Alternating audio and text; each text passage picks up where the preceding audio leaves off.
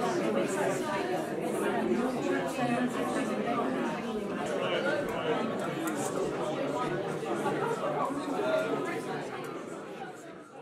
afternoon, everyone. Welcome to this afternoon's Meet the Regulator event. You can probably see I'm not going to stand behind the podium. Hopefully you can still see me. I know the room is quite busy, which is great to see, but if you need to shuffle around to be able to see and hear and see the screen, feel free to be able to do that. Um, also, just to say at the start, the event is being filmed. So if you'd rather you weren't in that film, if you speak to Ian, who's over in the corner here, you can make sure that happens. So the first thing I wanted to do was to say welcome. This is obviously the Meet the Charity Regulator event. It's really important for us to get out to meet you and remind ourselves about the diversity and impact that you all have across Scotland. The next thing I wanted to do was introduce myself and talk a little bit about hats and all the hats that we wear. Um, my name's Pat Armstrong. I am currently vice chair at OSCR. I've been on the board of OSCR since 2014. Um, my day job is also as chief exec of ACOSVO, which is the Association of Chief Officers of Scottish Voluntary Organisations. So I have the privilege of being able to work between working with the chief execs and the exec team in charities and working with the boards and the governance. So I feel very privileged to be able to do that. With another hat, I chair Scotland's Third Sector Governance Forum, who lead on Trustee Week in Scotland, and I can't help but do a quick little plug. Anyone that's interested in coming along, we have an event that's been growing year on year, all through the week of 12th of November. So it'll be launched on 12th of November with a conference in Glasgow, and it's called The Hero's Journey. Um, to highlight the amazing work that's done by trustees across the country.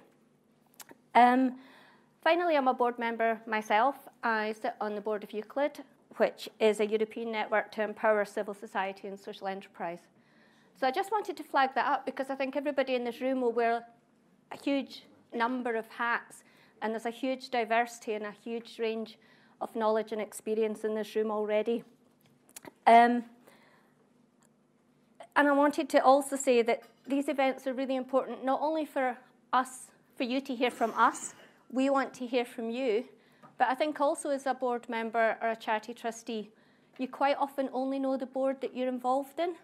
So this is also an opportunity for you all to speak to each other and to share support and good practice and learning and maybe get a different perspective on the role. So we hope you get an opportunity to do all of those things. So I've got two more parts to my role. First is housekeeping. We're not expecting a fire alarm. If the alarm does go off, there's double doors over here, which is the quickest way out when we meet in front of the building. Um, toilets, gents are on this floor, ladies are um, downstairs and straight ahead, and there's an accessible toilet also through the double doors. Um, mobiles, if you could just keep them on silent, we'd be delighted if you would like to tweet. The hashtag is MTCR, as in Meet the Charity Regulator, 2018. Um, so feel free if you would like to do that. Um, the next thing for me to do is to very briefly run through what's going to be happening. Um, so David is going to speak to us about the purpose of the event and a bit about OSCR. Um, then we will get some information from Jude on safeguarding. Then we will have a break um, we also have various different stands and OSCR staff that you'll be able to speak to and visit. Um, after the break, Laura is going to run through the role of the trustee. After each presentation, there'll be time to have a chat, to ask some questions, and to work a bit more interactively. So hopefully we'll get um, a chance to hear from you as well as you to hear from us. Um, so that leaves my role to try and keep us to time, to try and keep the afternoon running. Um, but my next step is to pass to David Robb, Chief Exec of OSCR. David. Um, good afternoon. I'm delighted to be here. Um, a warm welcome to you all. This is a huge crowd, not, not quite a record. Our Edinburgh and Glasgow meetings always draw a big crowd, but um, I was just scanning the lists and thank you to those who've travelled, a particularly long way to get here. Uh, it's always great. And, and we always enjoy these meetings. It's a real uh, chance for us both to get out and demystify things about the Scottish Charity Regulator. A any of you been to our offices in Dundee? Yes, yes a handful. Handful. Oh, Anne, hello. Anne's travelled quite a long way, so she's come down from Shetland. Um, but uh, the, the usual thing is that not many folk come to visit us in Dundee. Uh, so part of the function of today is to give you a sense of uh, what goes on there, to demystify things about the, the weird and wonderful world of, of charity regulation. But also, as Pat has said, this is a great opportunity for us to take the temperature uh, in the charity sector, get a sense of the issues that are bothering you, uh, and we really do use your input and your feedback uh, to focus our, our work programme. So I've got about half an hour, not many slides. Um, all the slides should be available to you um, if you've not seen them already, certainly after today. So don't, don't worry too much about taking notes. Uh, all the information will be available. So this is really what I want to focus on, to introduce ourselves, uh, to give you some uh, topical information, and as I say, to give you a chance to ask us questions uh, or to comment on some of the, the, things that you're hearing about. So here we are, there's Shetland. Uh, we are now legally obliged to have Shetland on the map, so there, there it is. So set up in uh, 2006, I think, so more than 12 years old now. OSCR uh, is the uh, charity registr registrar and regulator for over 24,400 charities in Scotland. So we have no minimum size. Uh, everything that is recognised as a charity in Scotland is on the register, um, and charity law therefore applies equally across the board. But as you could imagine, 24,400 uh, is quite a broad uh, spectrum, and I'll talk a little bit more about how we try and uh, operate proportionally um, across that uh, tremendous breadth. So the vision of, of what we're about, um, ultimately it's our job to underpin public trust and confidence, and that's where we think we're adding value. The Scottish charity sector was very keen um, as the legislation um, that was passed through the Scottish Parliament based on Jean McFadyen's uh, report, the McFadyen Commission. But the, the charity sector was keen to have a regulator, so it wasn't imposed. Uh, uh, sector recognised that being independently regulated uh, was a good way of signalling uh, to the public on whose um, trust you depend as charities uh, that uh, things were being run properly. So that's our job is to try and support an environment where the public can have trust and confidence in charities and, and that's what our activities are focused on. And we've identified four main strands of, of what we do. So helping the public have more confidence, helping charity trustees to understand and comply with your legal duties. We think it's only fair that if we're going to hold you to account, we give you some sense of what you're expected to do. So education and events like this is a key part of our job. Um, we want to ensure that registration and reporting is straightforward and proportionate. We, we try and not burden you with red tape. Um, our annual return is, we hope, fairly simple and straightforward. Sometimes new charities take a wee bit of a while to get into the swing of it. But uh, as we go out and uh, get feedback on our activities, we're really pleased now that uh, charities accept that the annual return is just part and parcel of what they do. Uh, and in general, the view is that it's not too burdensome. But we've always got to work hard to strike that balance for very small charities. An awful lot of charities in Scotland have no paid staff. It's entirely volunteer input and what's appropriate for a charity like that might be different for a charity that has 250 staff and offices all around Scotland.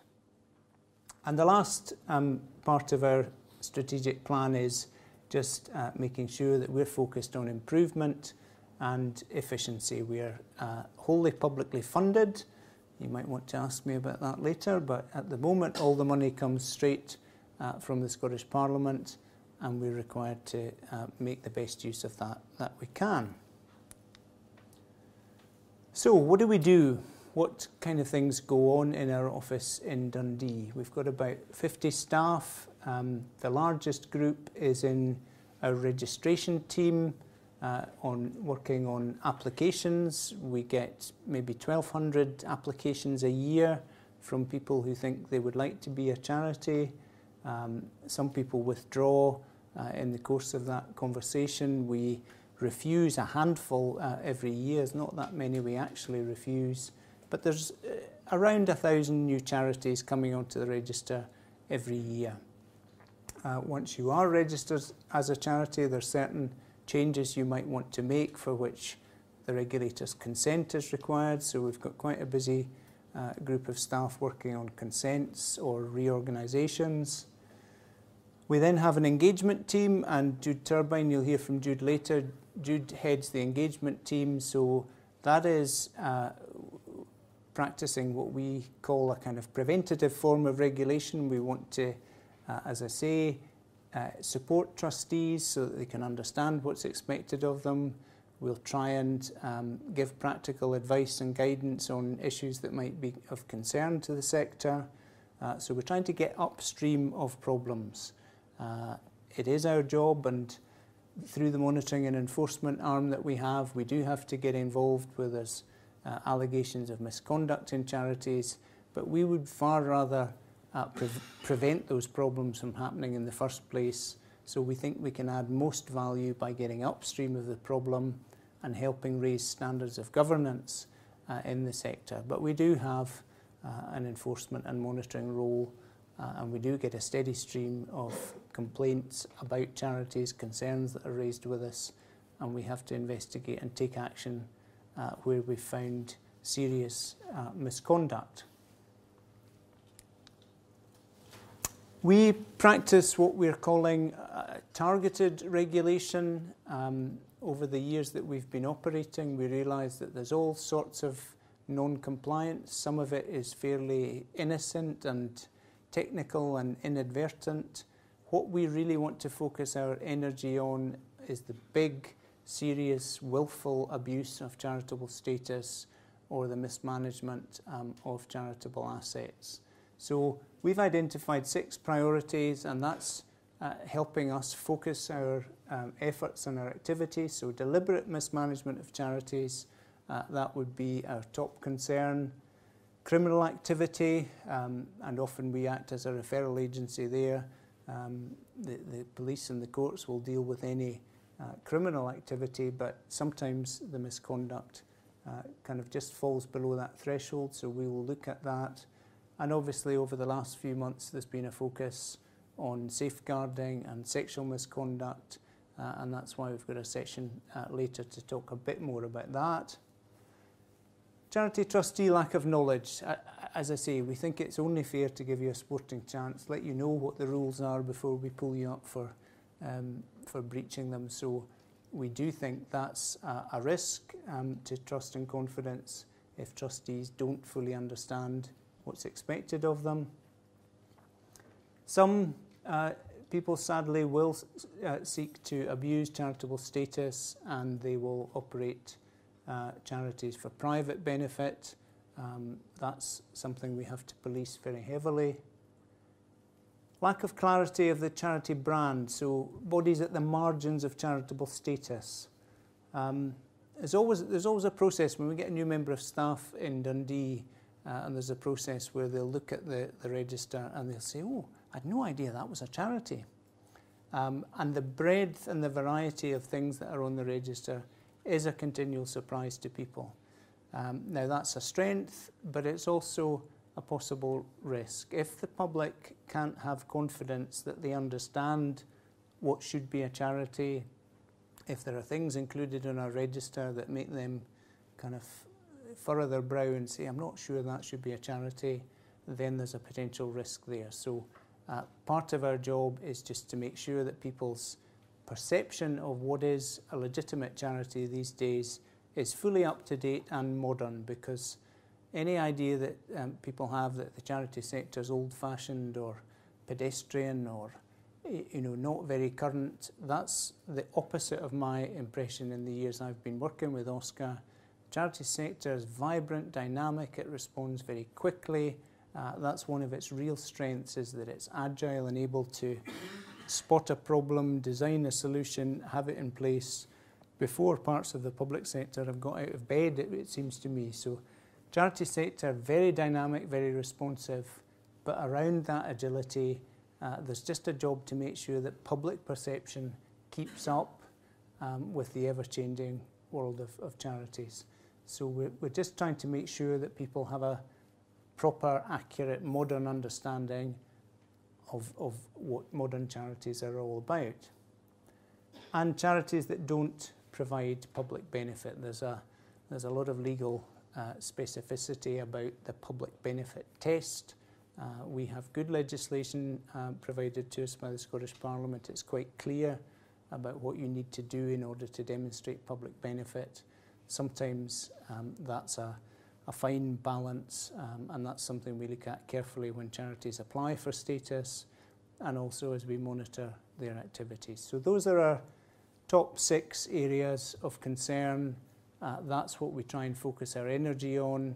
There are other kinds of non-compliance that won't be as high priority as that, and we're trying to make sure that we're a bit more relaxed um, and we deal with that um, in a fairly cursory way. That's the stuff we'll try and uh, put the real effort into. So that gives you a sense of what goes on in Dundee, and we're lucky to have a very knowledgeable and talented team. Some of them are scattered around the room, so as questions arise, if you uh, have uh, particularly tricky questions to ask, we've got some colleagues here who might be able to help with some of those. Um, and uh, I'll, I'll say it now, I'll probably say it again at the end. Please, if there's anything about um, running your charities that is of concern to you, pick up the phone, speak to the, the team in Dundee. We are a regulator, but we try and be a helpful um, supportive regulator. Uh, we're not just there to kind of deal with the heavy end of stuff. Uh, we really want to give you as much support as we can uh, with the important job that you do running your charity. So we are there uh, to help. But I just want to go on now and, and say a little bit about three of the areas that um, we've been focusing on lately. So a bit more about public trust, say a little bit about fraud and cybercrime, and then just focus on some of the guidance that we've uh, got in the pipeline or produced recently. So trust. Every um, couple of years we um, commission uh, two surveys, one of the general public uh, and one across charities. So many of you will remember getting a questionnaire. Um, I think we had quite a big sample this year of charities. There's a good chance that many of you in the room uh, were contacted by the researchers um, and asked what you thought of us. So uh, you're about to find out what, uh, what the results of that was. And we also contact members of the public uh, and find out um, how they're feeling about charity matters. Now, we were a bit nervous this year because the questions were being asked in the week when the Oxfam scandal was all over the newspapers and in the media, so we were braced for some disappointing results. But uh, in actual fact, the levels of trust held up pretty well. So, uh, despite all of that going on, uh, the public in Scotland seemed to uh, feel that their levels of trust um, hadn't changed much from two years ago. So, there's a lot in the in the surveys. We're just picking out some of the key information here. If you're interested, please go to the website, uh, delve into the details. You've also got some uh, of the information on that colourful handout on, on the tables. But 81% of charities say that uh, they understand having the public's trust and confidence uh, is important in terms of that donation. Worries me what the other 19% think, but um, that's a reasonably high number. Um, 76%, and I think this is the public, say that knowing how much goes to the cause increases their trust. So you'll hear regulators like us saying a lot about transparency and openness and the importance of telling your story, and you're going to hear a bit more about that, I'm sure, later. Um, in order to um, persuade people to part with their hard-earned cash, um, if you can demonstrate quite clearly what you do with it, how much of it goes through uh, to help the cause that the charities, that, that will persuade people. So people have a, a legitimate question about money going off into overheads or other activity. I won't get bogged down in that debate. We, we're not sure that there is such a thing as, as overheads. Um, anything that's required to run a charity is making a contribution to the cause. But people do have an interest in what um, happens at the front line and being able to demonstrate that clearly uh, is a way of improving trust. Fortunately for us, 84% of the, of the public said that um, charity regulation was important, so that's good. They didn't always know that um, there was a body called OSCR, but they have a sense that um, charities should be regulated independently. And this is a, a slightly different thing. The last statistic there is that 72% of people say evidence of the achievements increases trust. So part of running your charity well is telling that story so that your existing supporters and potential new supporters get a clear sense of what happens um, after they've donated, uh, when they've volunteered or given support. So telling that story about the impact you achieve, a really important job uh, for, for trustees. So five different things you could, you could do. Tell the public you are a registered charity. Um, it is a legal requirement on your websites, on your published material to uh, display your charity number. We've got a logo, and I think you'll, you'll see that in a minute if you haven't seen it already. It's free to download, it's easy uh, on the Scottish Charity Register. You can include that in your material, and it does have a, a real impact on people's confidence, seeing clearly that you're a registered charity. Um, run your charity well. Um, we know uh, the, the dedication of charity trustees. Uh, it's a huge kind of volunteer um, labour force that keeps charities running. Uh, and you know, we don't underestimate how difficult that can be. Sometimes disputes arise. Um, sometimes you'll have funding challenges, operational challenges, things to deal with that as volunteers is asking quite a lot of you. Um, but the public does expect a charity to operate to a high standard of governance, uh, and that's the key role of the trustee. File your accounts on time and uh, stop, stop our team having to send out kind of increasingly um, uh, grumpy reminders. Uh, nine months after the end of your business year, that's the point at which your annual return should be made. Uh, most of you manage that. Um, there are a few we have to chase. I mentioned this already. Tell your story, show the difference you've made, uh, use your trust, trustees' annual report, not just um, as a legal account of what happened at your AGM, uh, but use it as an opportunity to tell your story um, and use whatever imaginative means you have at your disposal uh, to get that message out there. And if you have changes that you think uh, we might want to know about, uh, please let us know. Don't just wait until your annual return uh, comes in. If there are significant changes, uh, it's a good idea just to keep your register entry up to date. And here it is. This is uh, what the logo looks like. Anyone downloaded it recently? No? Oh, there's a wee hand. Was it all right? Was it painless? Good. There we are. Good. So, moving on a little bit from the evidence around trust and, and what helps there, focus a little bit on some of the uh, risks and pitfalls that are out there. Um, two years ago, I, I went on a, on a wee bit of a, an internal secondment, so I went back into Scottish Government and worked in their digital directorate and uh, it was part of the effort to get our heads around this digital world that we now live in. And, and we used to say it's not a digital future, it is now. It is a digital present, it is a reality. Uh, being digital is just the way the world is now. Uh, and for charities, therefore, embracing that and accepting the reality of operating in a world that's increasingly online, uh, where most people are getting their information through their phone, Um, that's just the, the reality of how we live, and therefore it's a reality that charities have to deal with. And there are tremendously positive things that come with all of that, but there are also uh, some risks. Um, and fraud, cybercrime, um, as charity trustees, you need to be just aware. Uh, so it's not just looking after the cash box and keeping your people safe, but there are information risks um, and there are um, just simple protections that you can put in place. So you know about this in your private life, it's the same uh, within your charities. Be very careful about um, phishing emails um, or bogus um, contacts, particularly around banking information.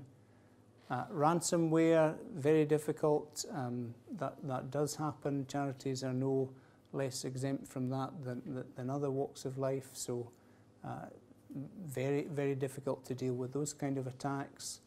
Viruses, make sure that you um, keep all your software up to date, that you apply the patches, that your, um, your um, kind of spyware and everything is, is updated regularly because the hackers are continually developing new things, so you must keep your defences up to date as best you can.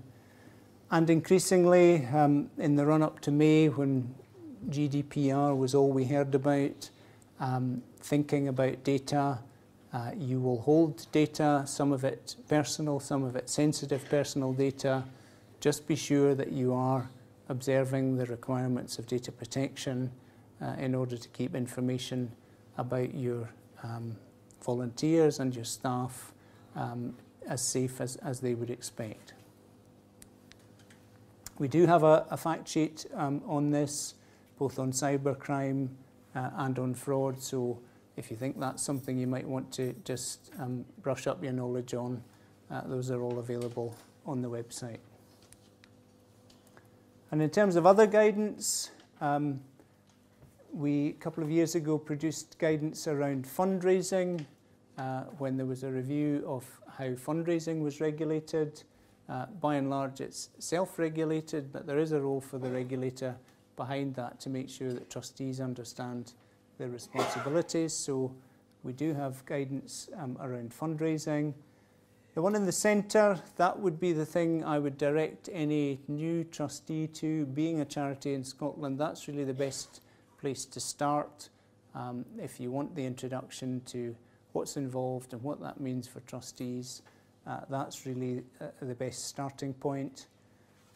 And recently we've produced some guidance on charities and trading. In the pipeline are updates on the guidance about Scottish Charitable Incorporated Organisations, SCIOs as they're affectionately known. Those of you who are a SCIO will know what that's all about. It's a very popular new legal form. We've got about 3,500 SCIOs now on the charity register. So it's a way of um, protecting trustees without full incorporation as a company. So it's a purpose designed legal vehicle that gives you some of the benefits of incorporation without having to register with Companies House. So SCIO is proving to be a very popular uh, new legal form. Uh, we'll be updating our guidance on consents, on accounts, um, and our guidance for independent examiners. And then the last one there is new guidance. Uh, some charities we're asking about investments, so we've had a working group uh, with uh, support from Laura Anderson lurking at the back there. So that group will shortly be issuing new guidance around investments. So as I say, there's a whole range of specific pieces of guidance available. If there are particular technical issues that you're facing, you might find an answer on the website.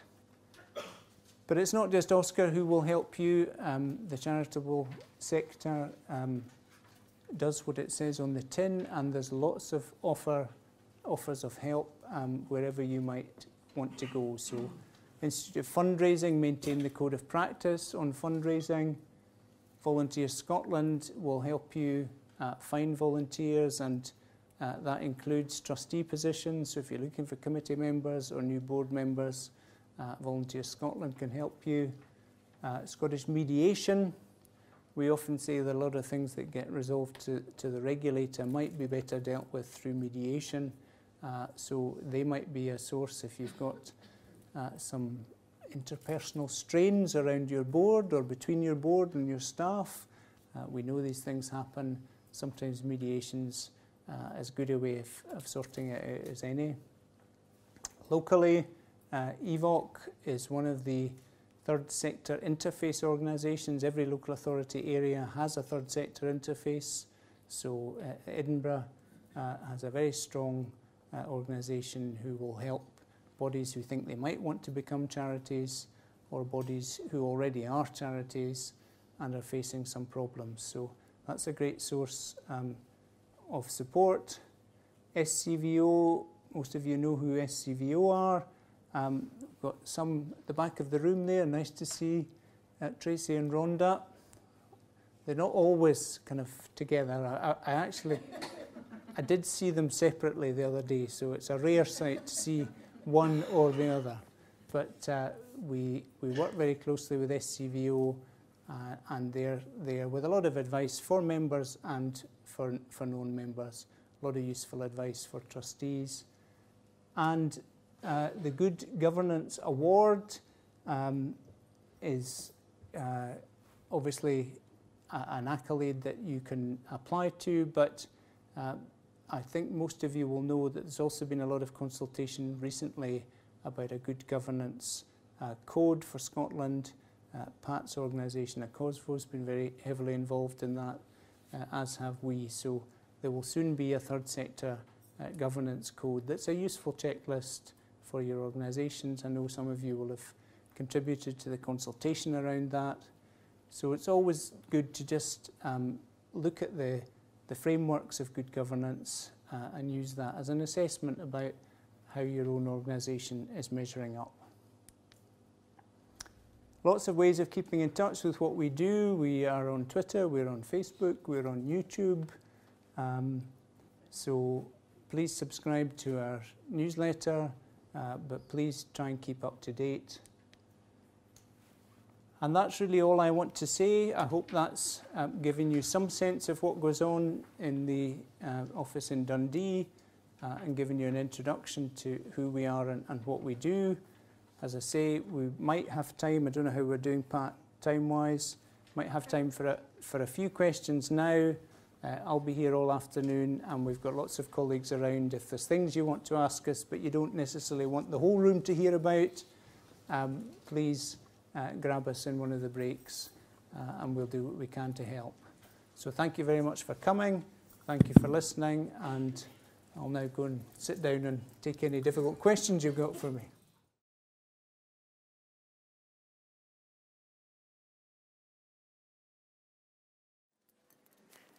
Good afternoon, everybody. Um, it's lovely to be here. It's uh, definitely one of the favourite parts of my job, coming out and talking to people, talking to trustees, talking to people who work in charities. So it's a great pleasure to be here. Oh, Ian, am I standing in the wrong place? I like to move around and I'm not allowed to move around. Um, also, just to say that this mic is gently choking me. So if I go kind of blue and fall over, would somebody come and pick me up? Um, what we're going to do uh, in a very brief presentation really is talk a little bit about uh, our definitions of safeguarding and a little bit beyond that, but we're concentrating on safeguarding today. Talk a little bit about why it's important, um, how charity trustee duties intersect with that, what you need to be thinking about as charity trustees. I talk just briefly touch on the notifiable events regime, and you might have some questions on that, and then talk about our safeguarding steps. Um, one of the things that happened when all this safeguarding stuff hit the press was there was quite a conflation, uh, quite a bringing together of different concepts in one place, making it quite confusing, I think, for charity trustees and others. And one of the things we've tried hard to do in our guidance, we've got interim guidance up on the website at the moment. Um, it's very close to the final guidance, but because we're doing a lot of thinking about this at the moment, we've left it as interim for the time being. But what we tried to do was be very clear about what we were talking about in that guidance, but some of the other stuff that you needed to get right as well in order to make sure safeguarding was working in your organisation. So what do we mean by safeguarding? For us, safeguarding is the action that an organisation will take to promote the well-being of the beneficiaries, of vulnerable beneficiaries, children and vulnerable adults. And that includes physical, emotional and all that stuff. That is the very heart, that is safeguarding. However, as we all know, if you want to get safeguarding right as an organisation, you need to make sure other stuff is right. You need to make sure your organisation is working properly. You need to make sure it's a safe and secure people, place for people to work. You need to make sure your employment, your employment laws, your employment procedures are correct. And you've kind of got to build an organisational culture that really works to make sure that safeguarding is, is, is working appropriately in your organisation. So that is what safeguarding is for us, that, that middle bit, that heart in the middle there. That's the heart of what charity trustees need to be thinking about. So why is it important? I mean, obviously that's kind of almost a stupid question, but why is it important? Um, it's not just, it's not important for any, you know, um, any reputational reason, although that kind of comes into uh, the overall trust and confidence that people might have in the sector. Fundamentally, it's a right of beneficiaries to feel safe, of vulnerable beneficiaries to feel safe, to be treated with dignity and respect. That is the very heart. That is why it's important to us as a regulator and to charity trustees um, as a whole. But in a way, people often say, well, you know, should charities be held to a higher level of, of, of scrutiny than others? I don't think so, really. I think any organisation should be held to the same level of, of scrutiny. But it's absolutely definitely true that charities often play a very particular role in society. They're often trusted to look after the most vulnerable populations, the most vulnerable beneficiaries. So, in fact, there's a particular role there that charities have, and therefore it becomes even more important that charities get this bit right. And there is that kind of transparency bit. If, if, if about reporting, there's, a, there's another reason why uh, people got very upset about the stuff that went on in the newspapers. Um, uh, newspapers, I sound very old-fashioned, newspapers and everywhere else, um, was that there was a lack, it, it was felt that there was a lack of transparency and that people weren't being truthful and honest about what was going on. And a big part of what builds trust and confidence in charities is that transparency bit, is that truthful bit, is people knowing that they can trust you as an organisation. And finally, and this is not the most important bit, sometimes, you know, we put this in and people go, well, it's not just about reputation. No, it's not just about reputation. But if you get any of this safeguarding stuff wrong, as we saw recently, then it will not just undermine the, the, the, the faith and the trust that people have in your charity, it will also undermine uh, possibly the trust that people have in other charities across the sector and the sector as a whole. So it is a very, very important piece to get right.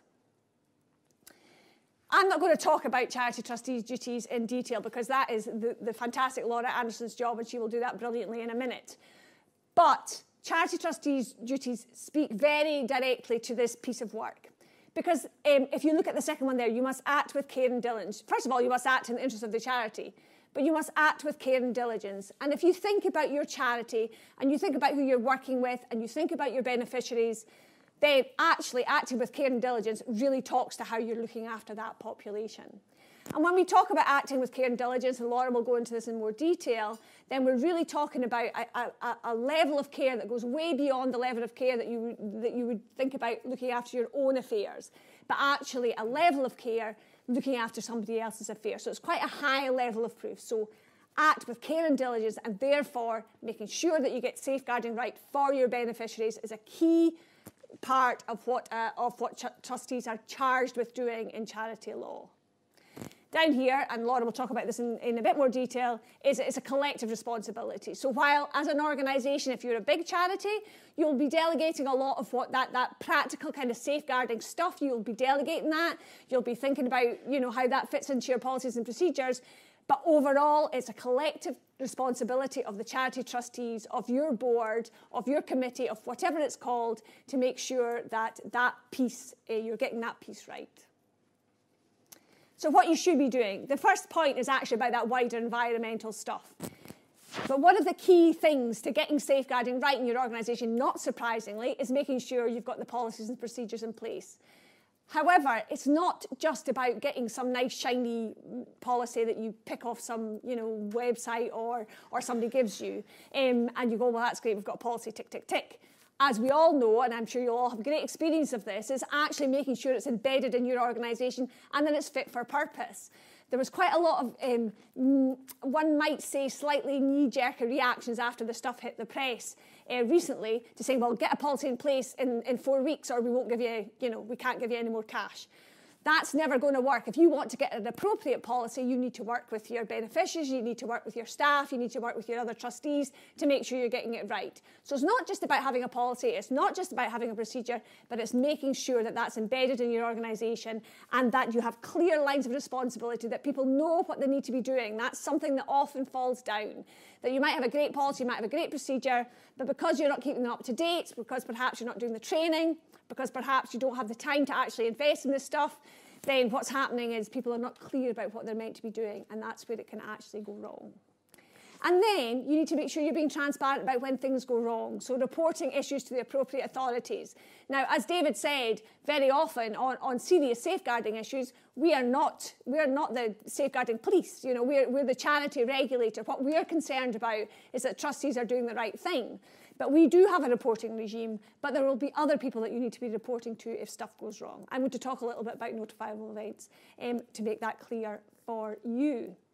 So that's what you should be doing. I'm going to talk briefly about our notifiable events regime. And there may be people, I'm not going to ask people to put up their hands who's had a notifiable event with OSCR, but we've had quite a number.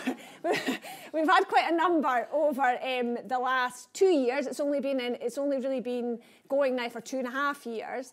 Um, and in total, we've probably had about between had about 200 notifiable events over that time. But that's over all the different areas that we ask people to notify notify us on. Um, and for instance, what, what David was talking about, fraud and cybercrime, that's actually our biggest number of stuff that's coming in in terms of notifiable events. It's, it's definitely not safeguarding. But what is the regime and why is it there? Well, we started the regime because the idea was really that we wanted to get ahead of the problems. If we want to be a proportionate and preventative regulator, we need to support charity trustees to do that. So rather than wait till some problem gets really naughty and it's not solved and then all the trustees walk away and then it's a total disaster and then it's the press and it's all a mess, we're asking people to report to us at a time that they've had some time to think about what's happening, that they know what they're going to be doing about that, that the trustees have had time to kind of actually take some action on that or, or decide what action they're going to take, and then report it to us. And of all the ones that we've had, very uh, fortunately, um, and maybe not surprisingly, because it's usually organisations with very good governance that report to us, um, we rarely have to do very much. What happens is somebody will report to us, um, they have already taken the steps or they're, they're very clear about what steps they're going to take. And then we go, oh, that's great, thanks very much. Keep us updated, maybe if there's some, something in the future. For a few of them, we have to signpost and say, well, actually, maybe you need to think about this. We'll maybe signpost to some support. Um, we'll maybe say, oh, well, actually, you know, you haven't reported that fraud to the, you know, the appropriate place, etc., etc. So we'll do some signposting. And only in a couple of cases have we had to actually escalate that to become an inquiry. But even when we've done that, the, the charity trustees who've reported that to us are clear that that's the step we're going to take. So it means we're all much better informed at the right time to be able to take the right action. And it puts us all in a much stronger position because on, on a couple of occasions already, we've been able to see when some, um, some kind of, uh, some kind of, some reporter has called up and said, oh, terrible story here about blah, blah, blah, blah. What, what, what are you doing about it? And we can say, well, actually, we've heard about this. The trustees are doing something about it all good, nothing to look at. It puts us all in a stronger position. We can all be much more comfortable about what, what is going on within the charity. And it's more of a problem, in fact, if people don't report to us. So if, if, if, if something has happened that's pretty serious in your charity and you haven't reported to us, and then we discover it because somebody else has raised a concern and we have to go in and, and, and open an inquiry on that, then we're much more likely to think, mm, governance here not so great, because in fact they're not being transparent at the right moments with the, with the regulator. Now, people who have read the guidance sometimes say, well, it's not prescriptive enough. You're not telling us what, you, what, what, what it is that we need to tell you. And we have kept it fairly high level, and that's for a very good reason.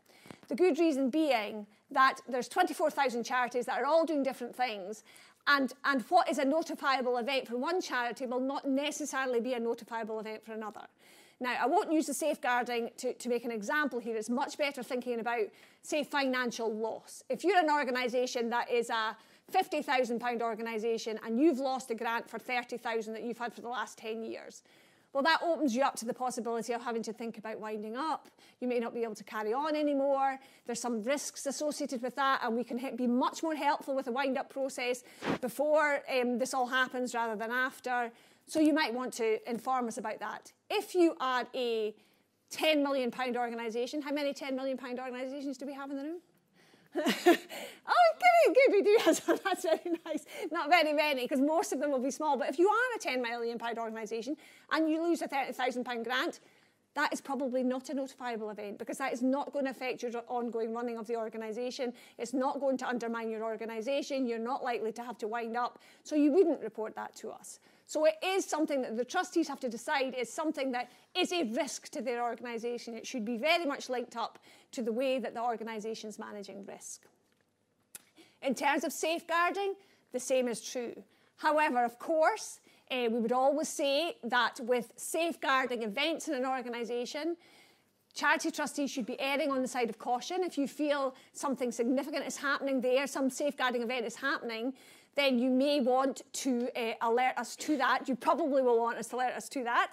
Um, we would say again that you do need time as charity trustees to, to have some understanding of what's going on and have some understanding of what you're going to do about it before you report.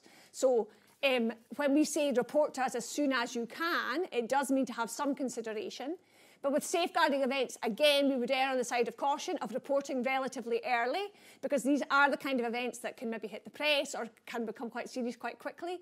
So um, again, it's up to the charity trustees to decide at the right moment to report to us, but to make sure that these, these, these very, very critical safeguarding events are reported to us at the, at, at the earliest possible opportunity. Now, again, we know there's safeguarding events that will not be reported to us. We know, um, we've seen, we've had a couple of meetings with, say, big care providers, and the safeguarding events that have to be reported to the care inspector and so on when you know, there's been just a slight uh, misadministration of medicine or so on, very tiny safeguarding events would not be things that would threaten the fabric of your organisation, would not be things that were highly risky. So again, your organisation will have a good understanding of the risks your organisation is facing. And we do only want to hear about the things that are notifiable because in this day and age, when we talk about getting the data that we get to be able to use it appropriately, we don't want lots of stuff that you just have to, you know, regurgitate to us that's not going to be useful either to us or to yourselves. Um, so maybe just to go back on that safeguarding bit, err on the side of caution if you have a, a, a serious safeguarding issue, we would want to hear about it, but we would still want you to have time to think about it, to consider what you're going to do, so that you can actually reassure us as charity trustees that you know what you're going to do, that you know how you're going to go forward with that particular problem that you have in your organisation. You may want to ask questions about that after. What are we doing at the moment? We've produced our interim guidance, so hopefully people have had a chance to look at that. We've got a little video um, uh, about uh, basically about the key principles of the guidance. Um, I think the most important thing that we're doing is that, that we're trying to work with key partners across the sector to build up confidence in this area of work. Um, we have seen, since the stuff hit the press, we've seen a lot of very good practice on safeguarding. Um, what we want to do is to try to make sure that we can make um, the, do what we can to make sure the practice can be as good across the whole of the charity sector within Scotland, or certainly the charity sector that's working with vulnerable beneficiaries. So we're working with um, other partners, with Scottish Government, with SCVO particularly, to try to look at what we can do um, to actually build up um, strength in this area of work. Uh, and that will include safeguarding, but it will also start to work on some of these other issues that are very important that organisations need to be getting right, uh, such as whistleblowing or um, cultural change and all those kind of things, which are a bit more difficult to work on in a concrete way. So we'll be looking at how we can support the sector on those areas as well going forward. Just going to finish with our little steps that are in our guidance, um, sort of a bit of a recap the, the first thing to, to really that you really need to do is to make sure that you know what your duties are. So that whole, you know, what are your charity trustees' duties, and understand that safeguarding falls very clearly within some of those. Know your other statutory duties. Depending on your organisation, you will probably have duties towards other um, other um, regulators.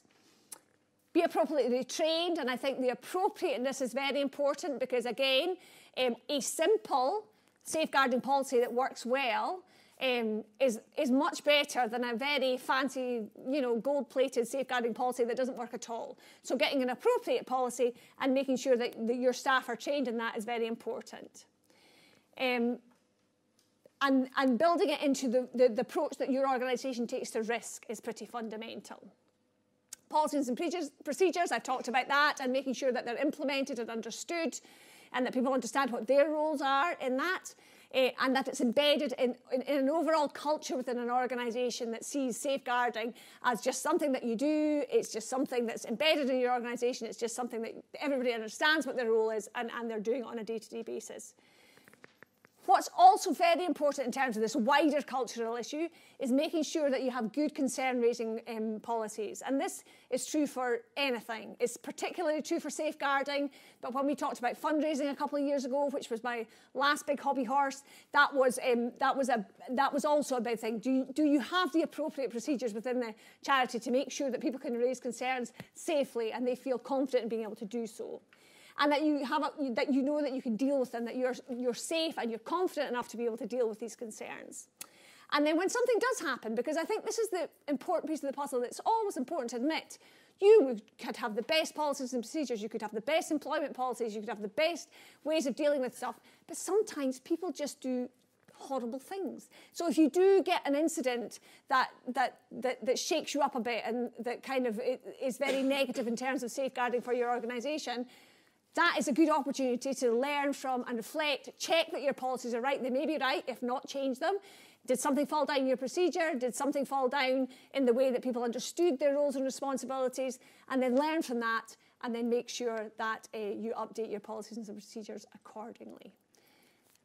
So that's me. Um, but now I'm going to hand you over to the exciting bit because we've got uh, Volunteer Scotland who are going to talk about the duty to refer.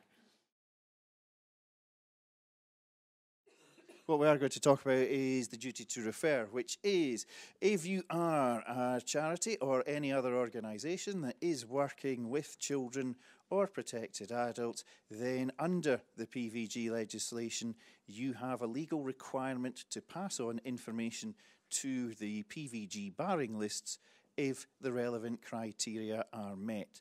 That being if somebody has behaved in an inappropriate fashion towards a vulnerable individual or individuals within your group. Now, at present, there are around about 5,700 people across the country who are barred from doing the regulated work with vulnerable individuals. As you see there, we've got it split into three different sections. Red section, the biggest part there, is 64% of 5,700 people are barred from working with children. It is therefore an offence for you as an organisation to employ any of those individuals in a position that falls under the PVG scheme that is working with children. Same way there, 9.5% are barred from working with adults. You cannot employ individuals who are barred from working with adults in an adult position that falls under the PVG scheme. And there you've got 26.5% are barred from working with both children and adults within the PVG scheme. So they cannot do any regulated work at all under PVG. But for the system to work, for people to be put on to these barring lists, as we say, it is a legal requirement for you, if you are an organisation that is doing the work, to pass on information if the criteria are met. That being, first off, the individual is permanently removed from the regulated work that they have been doing. Now, that can be you as an organisation dismiss them. That can be they resign. That can be, particularly sort of in the charitable sector, the funding for a project ends and they leave. For whatever reason, if they have been permanently removed from the regulated work, that's the first part of the criteria. The second part there being that the grounds have been met, those grounds being that they have behaved in an inappropriate fashion in one or more of the five headings there towards vulnerable individuals. So they have, for example, physically caused them harm. They have placed somebody at risk of harm through, for example, a lack of health and safety. They have engaged in inappropriate conduct involving pornography. They have engaged in inappropriate sexual conduct. They've been saying things of a sexual nature to vulnerable individuals that you would not want them to do. They have also been, for example, giving inappropriate medical treatment. So if any of you are involved in organisations where it is involved, uh, for example, giving out medication to individuals at certain times, somebody who refuses to give out that medication would be classed as being behaving in an inappropriate fashion. Can also cover, for example, the supply of illegal and unauthorised drugs. Now, what is deemed to be inappropriate behaviour. We've got a list there, so we're starting off with the more serious items, sexual abuse, physical assault, supplying the illegal or unauthorised drugs, emotional abuse, coercion, neglect, inappropriate physical restraint, as said, failure to follow health and safety, the use of inappropriate language.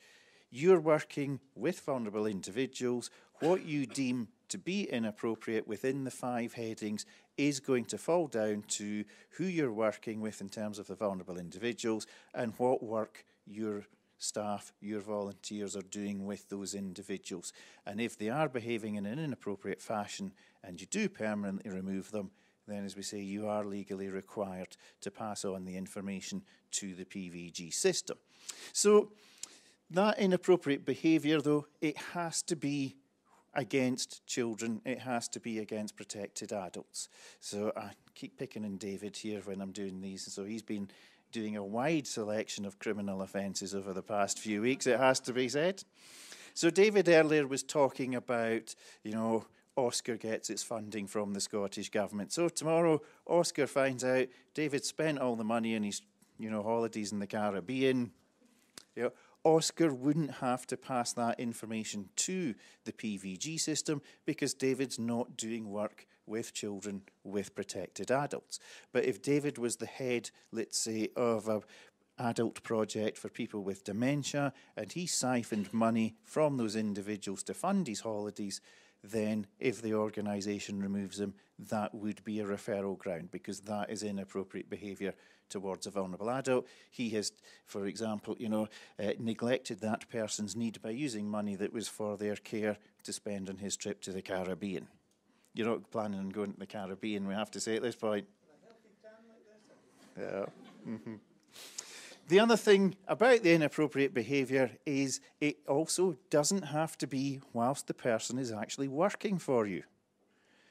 If you decide to remove an individual from the work that they are doing with you with vulnerable individuals because information has been passed to you about their general behaviour, let's say outside of work, then you can remove that individual and refer them to the PVG scheme. So, for example, we'll go with Jude this time. Somebody comes to you tomorrow and says, Did you know Jude's been arrested for hitting a child, uh, you know, on Princes Street. And we said, oh, no, didn't know that. We're a children's organisation. We discover that Jude has actually been arrested and charged with hitting a child, assaulting a child. If we then remove her, even though the inappropriate behaviour hasn't been while she's been physically working for us, the referral grounds are still met. You still have to make the referral because that removal has been caused by her being inappropriate towards a vulnerable individual. Allegedly. Allegedly. We should say, yes. We should, well, hmm, don't know about that. Uh, an individual who you are reporting to the PVG system we should say at this point there does not have to be a conviction through a court of law for that person to be barred and placed on the, uh, on the barred list under the PVG system. The PVG system is working that that in, on the basis that the individual is going to be barred on the balance of probability that they have behaved you know, inappropriately towards a vulnerable person. So there doesn't have to be a situation arising where you dismiss the individual and pass that information on to the police for them to take it through the courts, etc. It is just if you remove the individual, because if we got there at the bottom, you know, the use of inappropriate language. So I don't know if any of you are, for example, sports organisations. If you've got a coach who's continually swearing at the children that he's coaching, you might say, nope, we're going to remove you that would be a referral matter under the PVG system, but you wouldn't have to pass that on to the police. Other side of that as well is you should not rely, if it is a police matter, on giving the information to the police and then passing it to the PVG system. If that individual does end up being barred through a court process, etc., then uh, Andrew, who's from Disclosure Scotland at the back there, and his colleagues, they will look at the system to see whether or not you as an organisation have placed a referral into the system because you are legally required to do so. So no matter what the circumstances, if the criteria are met, you should make the referral to the PVG system. Now, something that does come up from time to time, what if information is passed to you and the individual has already left your organisation? They've already gone. Somebody who's, you know, in receipt of your services didn't want to say anything because they were being bullied by a staff member, by a volunteer. If that person is gone, allegations are made, you investigate that allegation, and if your conclusion is that at the end of uh, your investigation you would have removed that person if they were still working for you, then you are still legally required to make the referral to the barring lists even though the person is no longer there. And that's sort of uh, questions bit. I will now answer the question at the front end, which was, are you required to do the PVG checks? I was actually saying, to what extent are charities required to, to put in PVG certification? Right. Uh, this may come as a shock to some individuals here. Technically, it is not a legal requirement to do a PVG check. Uh, under the current PVG legislation, it is effectively your decision as an organisation as to who you would PVG check and when you would PVG check them. However, we do have to say that if you are found, for example, to be employing a barred individual, uh, then technically you could be in breach of the PVG legislation. And the only way you can find out if an individual is barred is by doing a PVG check. Uh, so technically, it's not a mandatory system, but if you like, it's sort of mandatory by the back door. And we should say at this point that the PVG legislation, uh, for those of you who know, it was out for public consultation earlier in the year about making changes to the system. And part of those changes are that come the implementation of the amendments, hopefully in 2020, the PVG system will become mandatory at that point. So if you are doing what's currently regulated work and what may be a protected roles going forward, then you will be legally required to do the checks for everybody who does meet the criteria. In preparation for having a wee bit of discussion towards the end of the session, what I'd like you to, to kind of bear in mind as we go through the next few slides are the kind of key points and experiences that you've perhaps had acting in the role of a charity trustee, or perhaps you've worked with a client, um, a group of charity trustees, and particular challenges have maybe come up. So that's what I'd like you to sort of bear in mind. So let's start off with then the basics. Okay, who is a charity trustee? What is a charity trustee? Let's be clear about who we're actually talking about, okay? There are a lot of very commonly used descriptors um, for those who are undertaking a trustee role. The slide here illustrates just a few of those that you've possibly heard and you've possibly used yourself actually. The key point to remember, however, is that no matter how you term um, a group of charity trustees or an individual charity trustee, everyone undertaking that role has the same responsibilities in the eyes of the law. And we're going to look at those responsibilities in detail and a little bit later on. Charity law defines charity trustees as those persons having general control and management of the administration of a charity. It sounds quite grand and quite complex, really. But essentially, these people are the members of the group that governs the running of the charity, the board. Okay? And as the previous slide showed, often there are many different names that can be used. Ultimately, it doesn't matter what the individuals are called. The key here is the role that they play, the fact they're in control of the organisation, and the responsibilities that they hold. So, I'm going to start off by doing something probably fairly unusual in many ways. I'm going to level with you. I'm going to be very, very honest with you. Being a charity trustee is not all plain sailing. And if I'm honest with you, sometimes it can be really tough. Those of you in the room that are charity trustees currently or have been in the past, you'll know exactly what it is I'm talking about. So the question's got to be then, why would you actually take the role on? Often I think commitment to the cause is the key reason why people become involved. For example, maybe the purpose of the charity is particularly close to their heart, or maybe it relates to their local community. There's a clear dedication, therefore, to the cause or the reason that the charity actually exists, okay, and what it's really trying to achieve, which is definitely, I would say, needed by trustees. And all of that will mean that they'll be really committed and passionate about making a difference and trying to achieve that charitable purpose. So in fulfilling the role of a charity trustee, we've established that it's necessary obviously to have a clear commitment to the cause and to what the charity is actually aiming to do. But it's also really necessary to be very clear on what comes with being a charity trustee. What are the practical implications of actually taking on the role? Being a charity trustee carries with it enormous responsibility as well as great rewards. So what I'm going to then con um, continue on to do is a bit of a refresher on what the charity trustee duties are that are set out in law. As I said earlier though, it won't always be easy. There will be tough times. There'll be times when you feel like really giving up and just throwing in the towel. But when you get to that stage, I would say that's the right time to re really do um, a re refresher for yourself and think about the commitment, the enthusiasm and the passion for the charity's cause, okay? And that should hopefully see you through those difficult times. Before, however, we see exactly what the law says about duties and responsibilities, I think it's probably quite good to press just the pause button just for a little minute.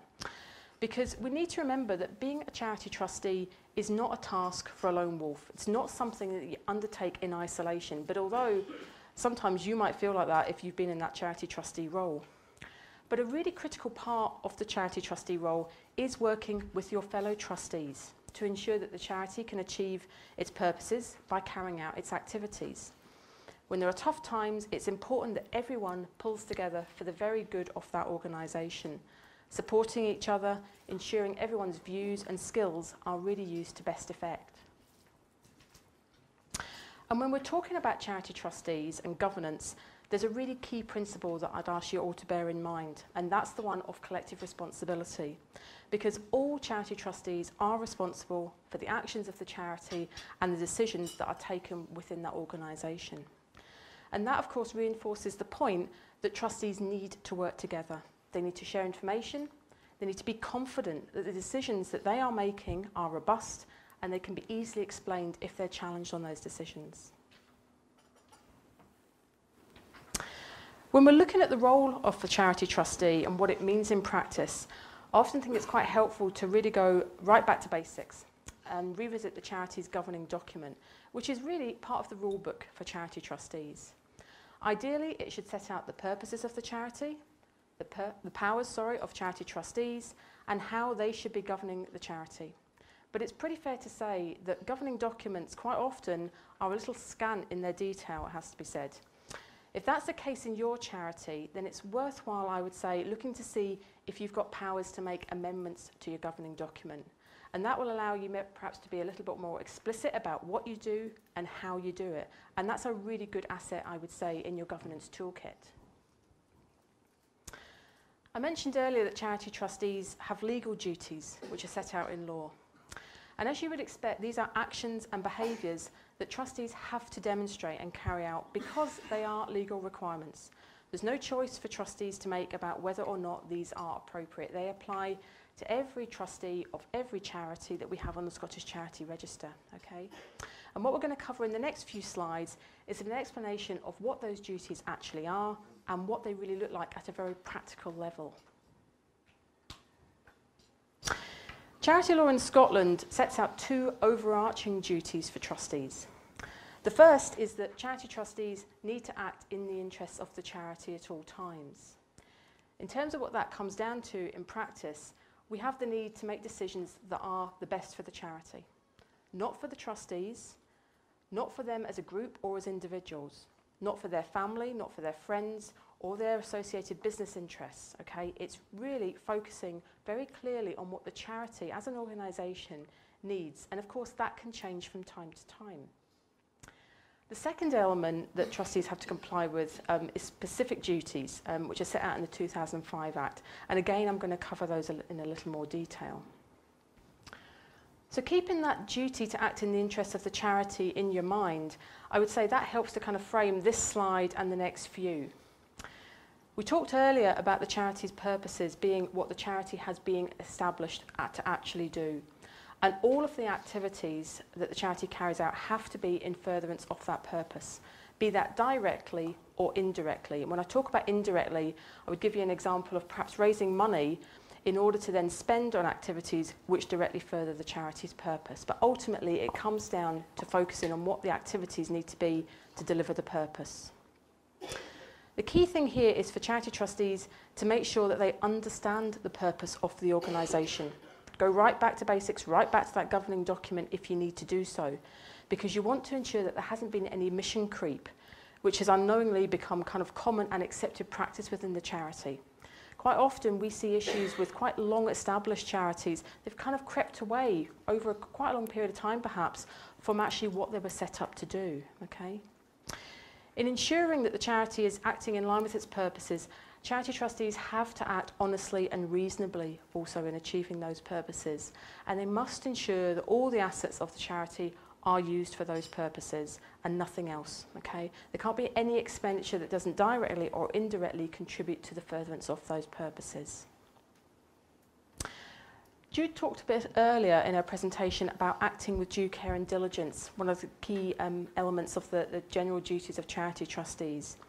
And as she mentions, it's generally easiest to think about this as the standard of care that you would apply if you were dealing with someone else's money instead of your own. Okay? And that's exactly what charity trustees are ultimately doing because they are dealing with the funds of the charity and not their own property.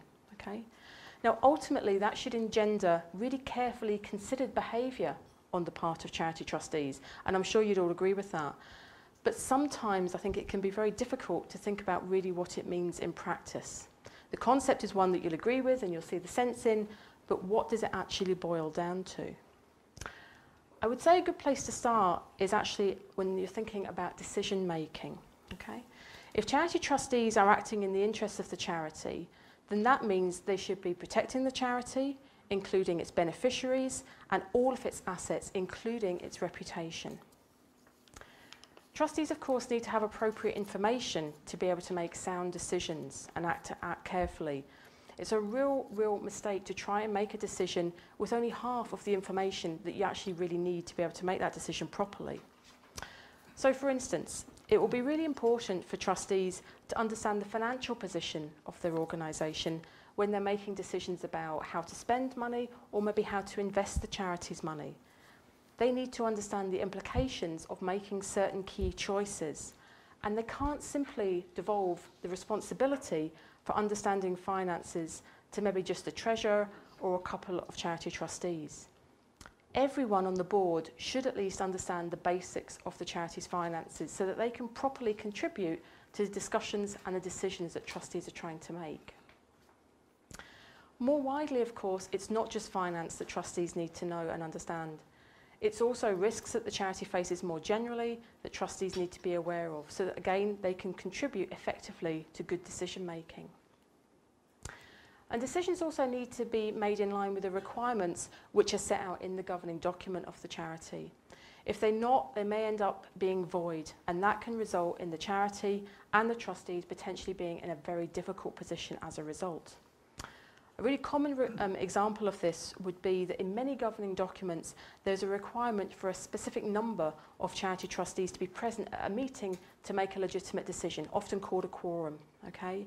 If you don't have that minimum number in the room, you try and make a decision, that decision may not be a legitimate one. Okay? Charity trustees also need to be able to explain the decisions that they've made, they've made and the reasons for those decisions. So it's really good practice, I would say, to keep a record of what is discussed the decisions that you reach, and again, the reasons for that. If there's a need perhaps to come back at a later period in time and revisit a decision, or perhaps if the decision is challenged in some way, um, maybe by an unhappy third party, that will help the charity trustees to really show that they have considered all the relevant factors that they should have. Rounding off then the look at the general duties of trustees, um, I'm going to just cover conflicts of interest just briefly. Now, within the trustee duties which are set out in charity law, there's a very specific type of conflict of interest that's referred to. We often call it the appointment conflict.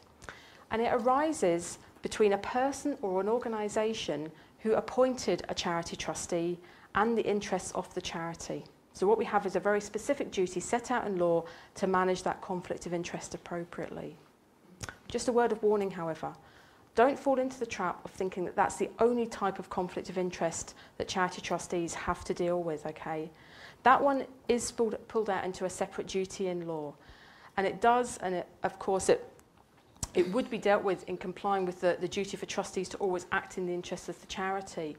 Okay, but uh, there's a more specific requirement that you have to really, trustees have to manage every potential and actual conflict of interest that, that comes along for their organisation because of that overarching duty to act in the interest of the charity at all times. Okay, so it's really key to remember that you have to put the interest of the charity, not yours as a trustee, not your families, not your friends, not your business interests. It's got to be the interests of the charity front and foremost. There's some very practical help um, that we've got in our guidance and good practice document for charity trustees, a copy of which you all have on your, your table. It's the, the kind of A4 booklet that's kind of spiral bound.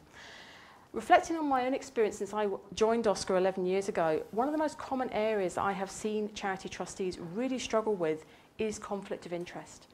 And the reason it comes up time and time again is because it can occur in every different shape and size of charity that we have, okay?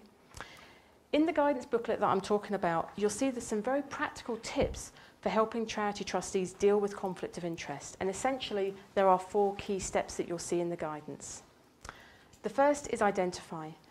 Make sure that as charity trustees, you are able to really easily pick up where there is a conflict or a potential conflict, okay, so that you can deal with the situation appropriately. Second, manage. Have a proper procedure that's clear how the conflict is going to be handled and make sure that everyone that needs to understand this does so. Third, record. Keep a record of what actually happens. Even when you're having a trustee meeting, for instance, note down when declarations of interest are actually declared at the start of the meeting um, and, what the, and consider what the implications for those declarations might be. And then learn reflect and make improvements or changes where necessary to the approach that you're taking as a charity.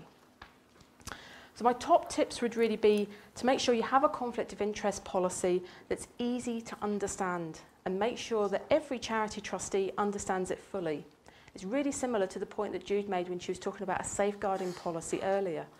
It's no good having a policy that's too complex or too long for people to get to grips with. Simple and focused, I would say, does it every time. Make sure that the policy is applied properly, have proper procedures to deal with conflicts when they arise, and manage them appropriately. It can be really, really dangerous for trustees to ignore conflicts of interest. And as tricky as it can sometimes be to actually manage them, it is always the safest option, I would suggest.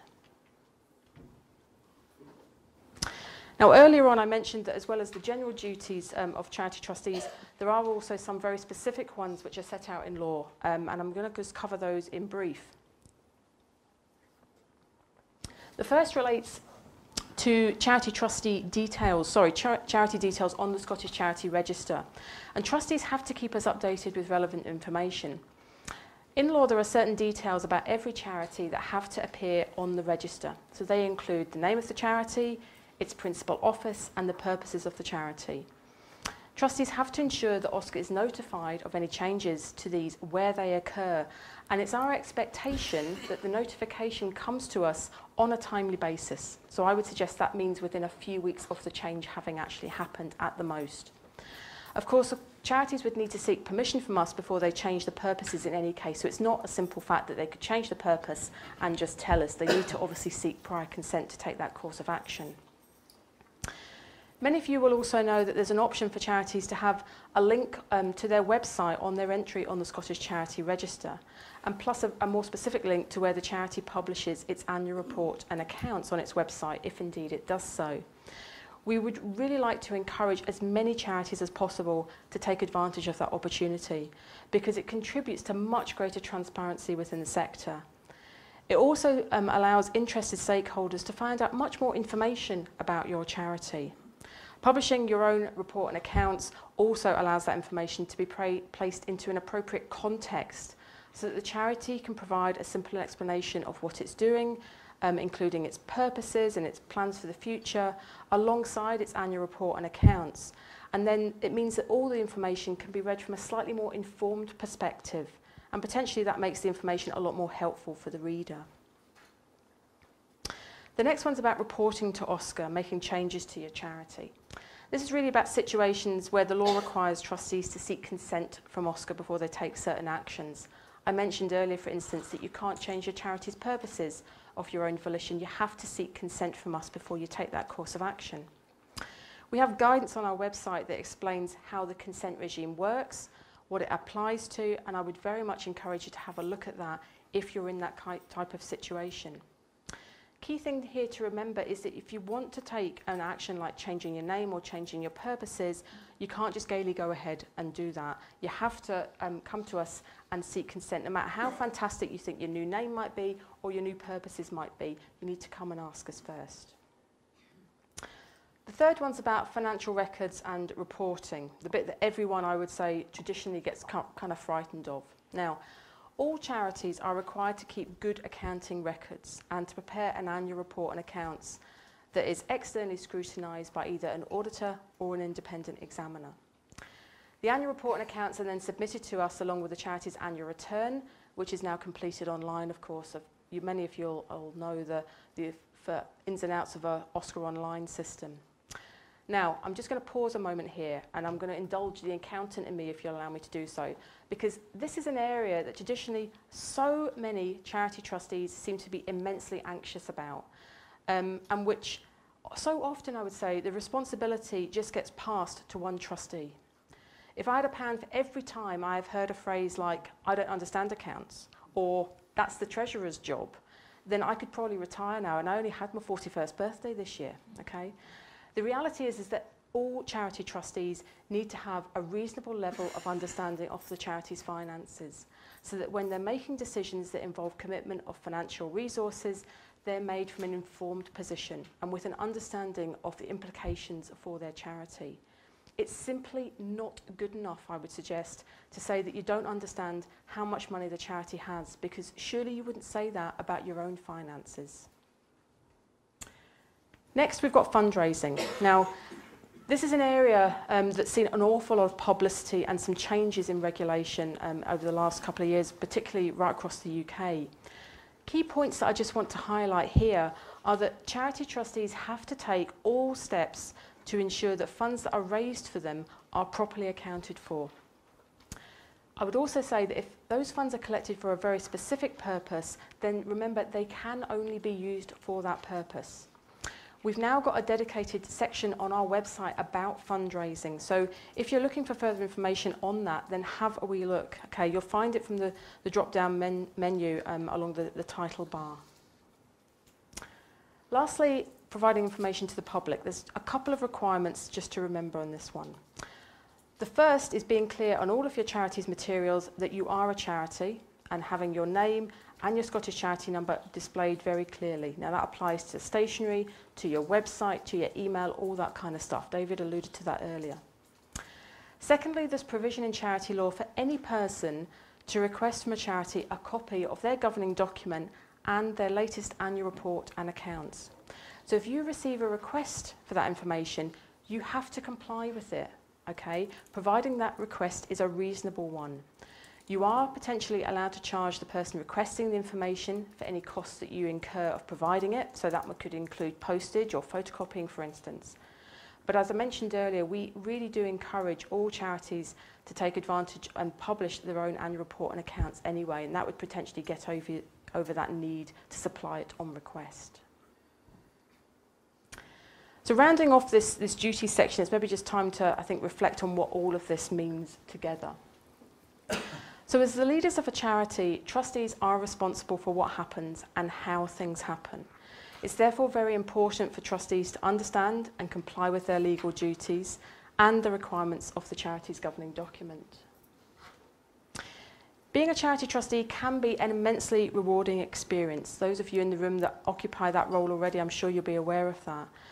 You are contributing to a great cause, and it's a cause that you will be enthusiastic and committed to, and that can give you an awful lot of satisfaction. But as we said earlier, there will be difficult times. But with your fellow trustees, you can get through those tricky bits, and you can work together for the very purpose that brought you together in the first place. So when times are tough, rem remember that and remind each other of that as well, I would suggest. And lastly, I would say that it's really easy for charity trustees to sometimes lose sight of the importance of good governance in their organisation. Because understandably so, um, they're, they're so focused on actually what the charity is doing in terms of its activities um, and, its, and its kind of purposes and its plans for the future. But having robust governance is very important in terms of strong decision making, comprehensive policies and procedures, and really good, strong oversight and monitoring. And all of that working well and working collectively helps to protect the charity's reputation. And ultimately, I would suggest it makes the job of being a charity trustee much easier. So, just a little bit of summing up then. As we've seen here, the role of the charity trustee means having a lot of power, but that in turn obviously involves an awful lot of responsibility as well. I've got five key sort of takeaway pointers for you um, to kind of remember. The first is about using your passion and your enthusiasm for the charity and the board and the board's benefit. Don't lose that. Use it to your advantage as a group of charity trustees because you will need it. Secondly, remember your legal duties as charity trustees. Act in the interest of the charity with care and diligence, in line with the purposes and manage conflicts of interest. Third is that challenges can be overcome, but do not shy away from them. Tackle them head on, no matter how scary that may, that may seem. Don't expect them to be solved just by other people. Trustees are the people that have ultimate responsibility, so try to work through the tough times. And fourthly, seek help from other people when you really need it. Don't be nervous about getting help from another organisation because that can be immensely valuable and it can also save you an awful lot of time if you're struggling particularly with something internally. And lastly, I would say that good governance of your charity is absolutely critical. Do not lose sight of it. I can't overemphasize that enough.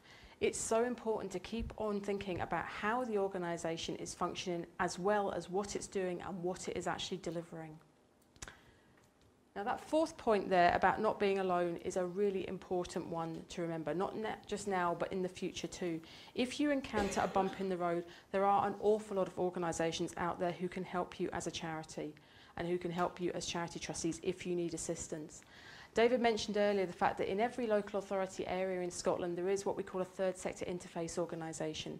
Edinburgh is rec re um, represented here today by Ed Edinburgh Voluntary Organisations Council and indeed SCVO are here as well obviously and they cover all of Scotland. There are a lot of organisations out there who can help and support you.